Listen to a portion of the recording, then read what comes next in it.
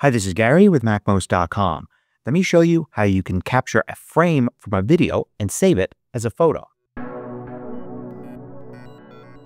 So a common thing that you may want to do if you take a lot of video is to grab a frame from a video and then save that as an image.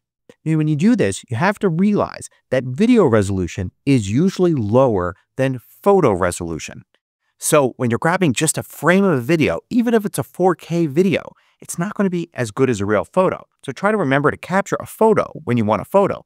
On the iPhone, you can even use the photo button while you're recording video, and you'll get a higher resolution photo that's better than the frame you would get from the video. But let's say that time has passed, you've just got a video, and now you want to capture a photo from a frame in that video. The first method I'm going to show you is in the Photos app. So you've got the video in your Photos app. Let's go to just my videos here, and I've got some sample ones. And let's go to this particular video here. And let's say that I didn't take any photos here. I just had this video, but I'd like to have a photo that I could share with people. So I find a good frame, like maybe this one here. When selecting a frame, always kind of look at the details. Some frames will be blurrier than others. You've got motion going on. You're probably holding the camera in your hands, so you're moving a little bit. So you're going to have some very clear frames and some that aren't so good. So look for a really good one. And once you have the one that you're happy with, you can do this relatively easy using a menu item in the Photos app. Just go to File and then Export. And when you're viewing a video, you'll have this option here to export frame to pictures. Select that. And then it doesn't seem like anything has happened, but it's literally done exactly what it has said. It has saved an image file to your Pictures folder. So in the Finder, go to your Home folder. Then look for Pictures. This is usually where your Photos library is kept and maybe some other things as well. Then you'll find an image file right here. If you double click it, it should open up in Preview and you'll see you've got that frame now as a photo. Note that it usually captures it in a format that's not so great and it's a pretty large file. So if you really want to keep this photo, you probably do want to open it up in preview here and then go to File and then Export and then choose a better format. Like for instance, let's choose HEIC here and we see we get a much smaller file. Also, while we have it in preview, you can use the info button here and see that the pixel height and width matches the video. So this is a 4K image. And in this case, it looks pretty good. I was using a really good camera to capture this video with a big lens. So it got a really nice frame here. And it's something not quite as good as a regular photo, but pretty close. Now, if you want, you can take this file, or better yet, the one you exported into HEIC or JPEG, and drag that into your Photos library to add it there. If you find these videos valuable, consider joining the more than 2,000 others that support MacMost through Patreon. You get exclusive content, course discounts, and more. You can read about it at macmost.com slash Patreon. Now, what about a file? Say you have a video file and it's not in your Photos app. You actually can grab a frame from this pretty easily. If you double click a video file like this one here in the Finder, it should open up in QuickTime Player. Now you can go and find the frame that you want. And the same thing here. Look for a frame that's nice and clear with the details. And then when you have exactly what you want, you can go to Edit and Copy. Now, when you edit copy in Photos, you actually copy the entire video. But when you do it QuickTime Player, it actually copies just the frame. Now you have something that's in your clipboard. So for instance, if you went to another app like maybe Pages or maybe Mail here and you did Command V to paste, it would actually paste that image. So a quick way to turn that into a file is to launch Preview any way you like. And instead of opening a file, go to File and you'll notice New from Clipboard or just simply Command N. And this will create a simple image here in Preview as a new document. Now you can go to File, Save, or just Command S, and here you can now select the file format.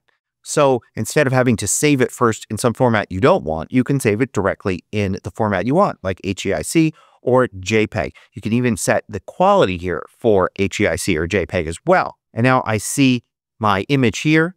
I can quick look at there. If I look for the info on this file, you can see the dimensions are the dimensions of the video. This is a 1920 by 1080 video here. And if I want to add it to my photos library, then I can simply drag it down and add it to photos. Now, another way to do it is to select the frame you want in QuickTime Player, copy with Command C, then go to Preview and create a new document from the clipboard.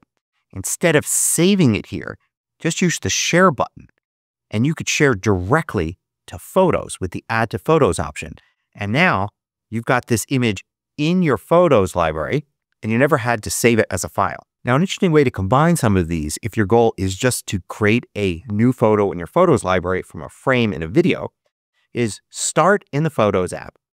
Go to the video. Don't worry about getting to the right frame. Just go directly to Image and then Edit With, and then select QuickTime Player from the list. This will open it up in QuickTime Player without saving a new copy or anything. Now you can find the right frame here in QuickTime Player. Now Command-C to copy, launch Preview, and New from Clipboard. And now that you have this image here in the clipboard, now you can click Share and then Add to Photos. And then you can close what you have there in Preview, close what you had in QuickTime Player. You never actually created another file or anything and you have this image right here. The only downside is that if you look at the information here, you'll see this is a pretty large file. You didn't have a chance to save it out as a JPEG or HEIC to make it a more compressed format. Now I want to show you another method that uses an app that you may not have, Pixelmator Pro. Pixelmator Pro isn't technically a third-party app anymore since Apple owns Pixelmator, but it does actually cost some money to buy it. One of the things it can do though is you can work with the video in it. So you can take the video and drag it into Pixelmator Pro or open it with it, or I'll do open with here and select Pixelmator Pro. So you can actually do things with Pixelmator Pro with this, like do filters and things like that and save it out as a new video. But what I want to show you is just how to capture a frame from it. Now, there's not really a good way to select a frame here except to click on the More button and then actually trim the video, but just trim it to get to the frame that you want like that. And now that you're at that frame, you can copy and paste, but you can't just copy and paste right now. You actually have to do Command A to select all, and then Command C to copy. This copies the actual pixels here. Now you've got it copied and you can actually paste it into any app you want, or just since you're in Pixelmator Pro already, go to File and then New from Clipboard, and you have a new Pixelmator Pro document that you can now Command S to save and save it out in any format you like. Plus, you can also share and then select add to photos as well. And this will actually add it to photos and the format is actually pretty decent. It's HEIF here and compress pretty well. That's probably not the method most people are going to use, but it could come in handy, especially if you already use Pixelmator Pro for a lot of things. Now, this last one I'm going to show you is one I truly just dislike, and it's to take a screenshot of the video. Now, I hate this because it's kind of like making a copy of a copy. You're losing some resolution. All the other methods I showed you took one pixel from the frame and made it one pixel in the image. But when you take a screenshot, you're basically taking the rescaled version you see on the screen with the pixels looking slightly different than they do in the actual frame of the video, and you're creating a complete new image from it. You're losing some resolution.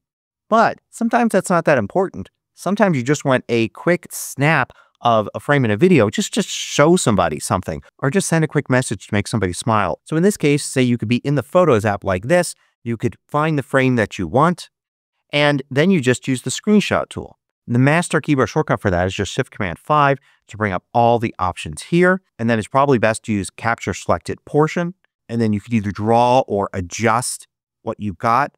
This does give you the added benefit of allowing you to quickly crop and capture part of an image like this.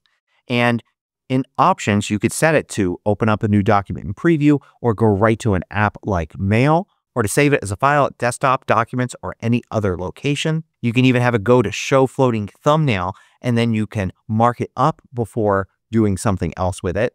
And even if you pick one of these other options, the clipboard option works if you just do Command C and now you've copied to the clipboard. So I'm not a fan of that for quality reasons, but I do realize that for a lot of people and a lot of situations, it's a quick and easy way to do it. Hope you found this useful. Thanks for watching.